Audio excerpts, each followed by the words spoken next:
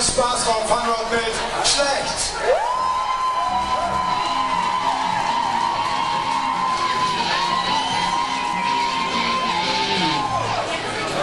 Das war nett hier.